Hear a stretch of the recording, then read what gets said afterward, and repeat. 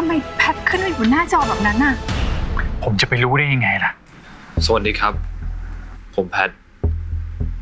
ลูกชายคนโตของคุณนคร สอสอคนโปรดของพวกคุณ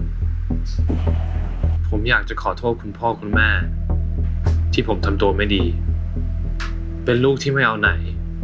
คอยสร้างแต่ปัญหา แล้วทำให้ครอบครัวเราเสียชื่อเสียงที่ผมไปเรียนเมืองนอก ผมไม่ได้รับทุนไปเรียนหรอกนะครับ ผมติดยา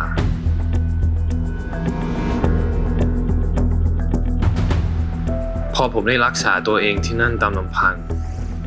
มันก็ทำให้ผมได้คิดอะไรหลาย ๆ อย่าง ผมก็เลยรู้ว่า ผมทำผิดกับครอบครัวผมมากแค่ไหน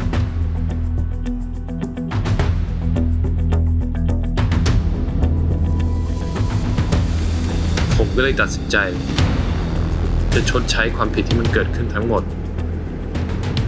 ให้กับครอบครัวที่ผมรัก พ่อ แม่เพนนีน้องสาวของผม ผมรักทุกคนนะครับ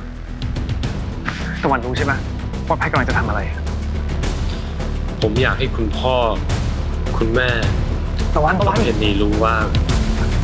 ผมดีใจมากขนาดไหนที่ได้มาเกิดเป็นครอบครัวเดียวกัน แต่ผมไม่ดีพอที่จะอยู่ในครอบครัวนี้อีกต่อไป ลาก่อนครับใจเย็นเราต้องตามหาในแพทให้เจอ